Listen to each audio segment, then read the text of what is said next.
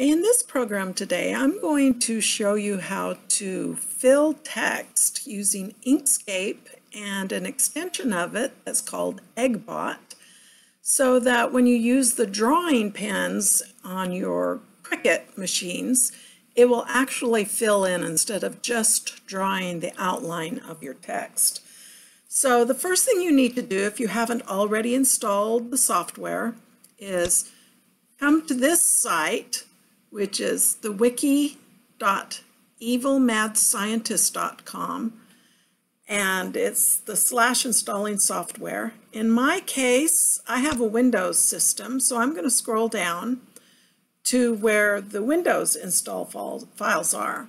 The first thing it has, it has a link to the Inkscape program. You need to have version 0.92.4 the latest version of Inkscape is version 1.0, but that does not work with this extension. So this is the version of Inkscape that you're going to need to use. And then once you've installed Inkscape, uh, the latest Windows installer, in my case, as I said, I'm running Windows 10. And when you click on this, it gives you the option of saving the install file.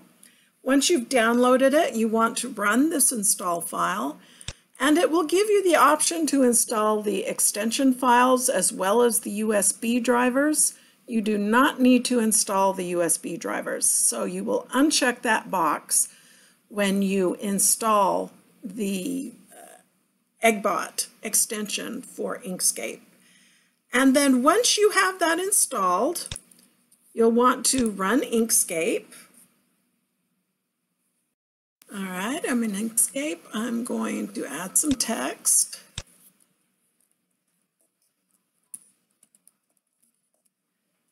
And I will adjust the spacing and move it over. Path, object to path.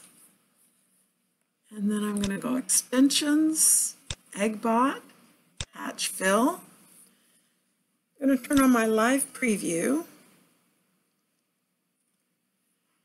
I'm going to have a hatch spacing of 0.5 and inset fill from edges 1.0, connect nearby ends at 3, the default of 3, and the tolerance I'm going to change from the default of 3 to 1.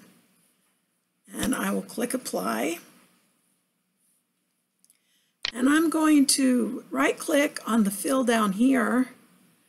I'm going to remove the fill and right click on the stroke and change the stroke to black. And I'll click close for that. And then I'm going to file, save as. I'm going to save this as a plain SVG.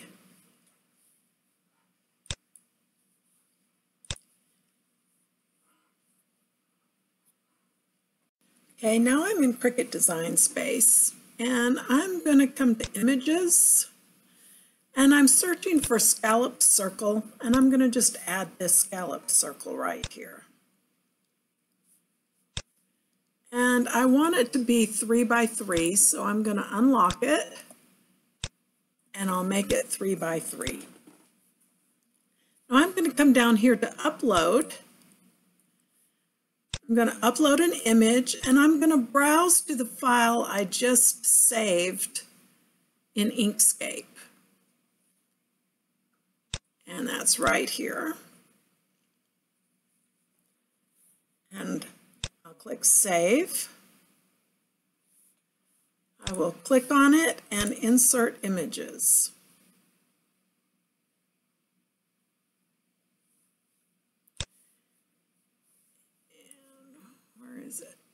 Here it is. So I am going to resize this to fit in my scalloped circle.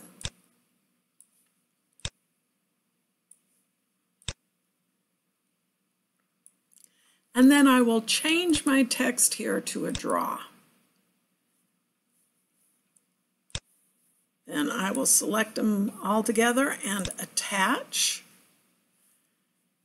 Then I will go to make it to send it to my my Cricut Maker and I'll show you the final results when they're finished. And this is the final result.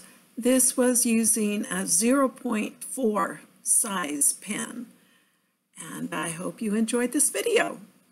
Bye.